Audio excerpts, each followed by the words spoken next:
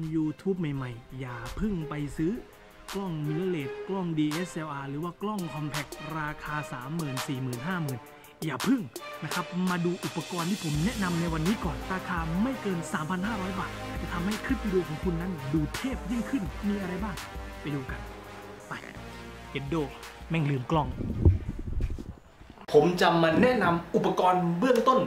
สำหรับคนที่อยากจะเริ่มทำ YouTube มีข้อสงสัยนะครับ ถามเข้ามาว่า เอ๊ะ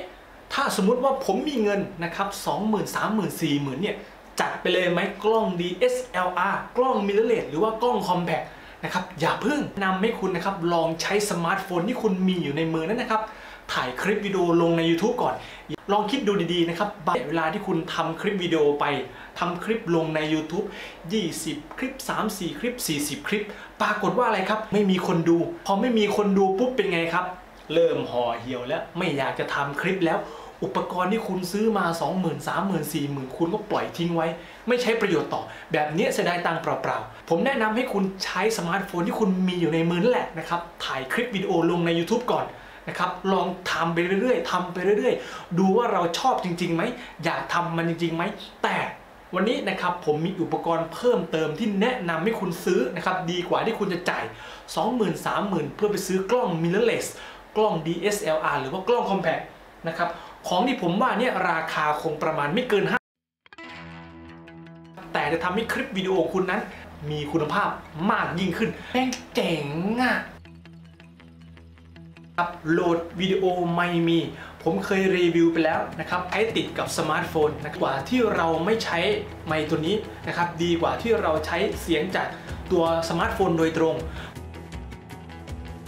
ตัวนี้นะครับมีประโยชน์มากสะดวกและก็น้ำหนักเบา ราคาถูกด้วยอาจจะมีหลายเกรดนะครับพวก Manfrotto อย่างเงี้ยราคา 1,000 2,000 อย่าเพิ่งซื้อ พวกนั้นเขาเอาไปใช้ติดกับกล้อง DSLR กล้อง mirrorless นะครับมันแข็งแรง ราคามันก็แพงตามไปด้วย แต่เนี้ยเป็นพลาสติกเบาๆนะครับเราจะมาใช้แค่กับสมาร์ทโฟนเท่านั้นนะครับตัวเนี้ยเห็นไหมครับ เวลาที่เราถ่ายเซลฟี่ถ่ายคลิปตัวเองเนี่ยเราก็ทำแบบนี้เลย เราก็พูดไปนะ ผมแนะนำอย่างนี้นะครับ พวกเลนส์วายที่เอาไว้ติดกับสมาร์ทโฟนกล้องลกล้องหน้ากล้องหลังเนี่ยผมแนะนำว่าอย่าไป search ดูในพันทิป อย่าไปดูใน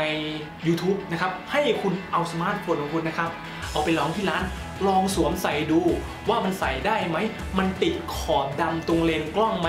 นะครับ เพราะว่าเลนส์บางตัวเนี่ยมันใช้ได้กับโทรศัพท์บางรุ่นนะครับ พอเสียบเข้าไปกับสมาร์ทโฟนแล้วบางตัวนะครับ มันติดขอบดำ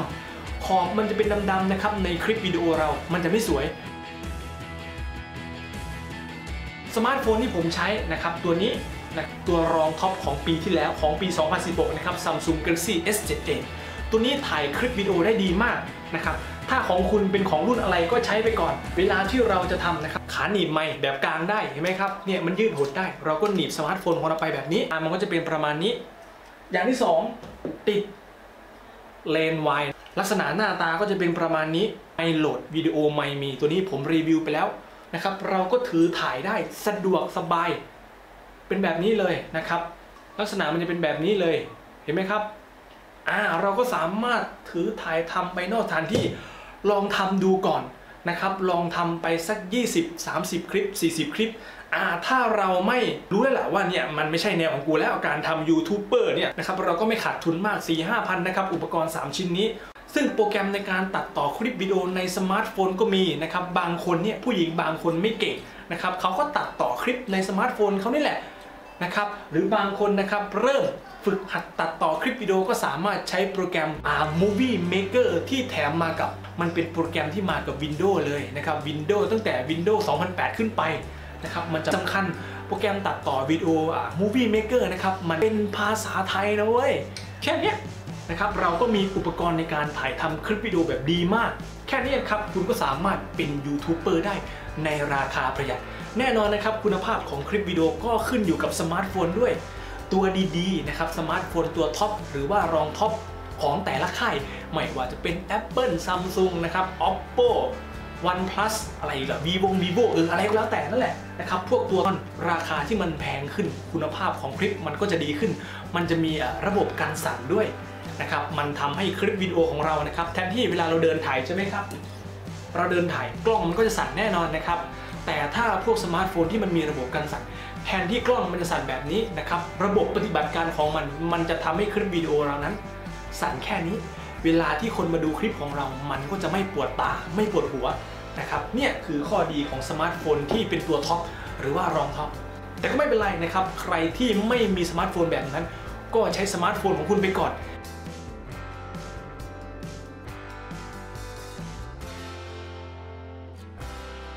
นี้ผมก็จะติดเลนส์ไวเข้าไปฟุ๊บเห็นไหมครับ นี่คือสมาร์ทโฟนที่ติดเลนส์ไวเข้าไป มุมมันก็จะกว้างขึ้น เห็นไหมครับ เยี่ยมเลย แต่คุณภาพเสียงก็อาจจะดีในระดับหนึ่งนะครับ แต่เวลาที่เราไปถ่ายอะไรข้างนอกเนี่ยอาจจะมีปัญหา อุปกรณ์ตัวต่อไปที่ผมจะติดตั้งเข้าไปในสมาร์ทโฟนของผมนะครับ ก็คือตัวนี้อ่า Rode VideoMic Me แต่ว่าตัวไมค์มันไม่ได้เป็นแบบนี้หรอกนะครับ ผมติดฟองน้ำเข้าไป เพื่อกันลมในระดับหนึ่ง นี่คือเสียงรอบข้างที่ได้นะครับ ผมยังไม่ได้ออกไปจากตัวบ้านขี้เกียจนะครับมันร้อน ผมก็จะติดเจ้าตัวไมค์เข้าไปแล้วนะครับ ที่สมาร์ทโฟนของผม แล้วคุณภาพเสียงมันก็จะเปลี่ยนไปแน่นอน จะติดแล้วนะครับ อ่าผมก็ติดไมค์เข้าไปเรียบร้อยแล้วนะครับ เนี่ยนะครับคุณภาพที่ได้ไม่ธรรมดาเลยใช่ไหมครับอ่า อ่าทีนี้ผมก็ลองสลับใช้กล้องหน้าถ่ายนะครับถ่ายตัวเองเซอร์ฟี่ตัวเองเห็นไหมครับเวลาเราทำคลิปวิดีโอเราก็พูดไปเราก็ฝอยไปแซวสาวไปก็แล้วแต่พี่เลยนะครับว่าพี่จะนำเสนอตัวตนตัวเองเนี่ยให้เป็นรูปแบบไหน เป็นคนตลกเป็นคนจริงจังใน YouTube เป็นคนหาเฮลขี้เล้าเมายาก็แล้วแต่พี่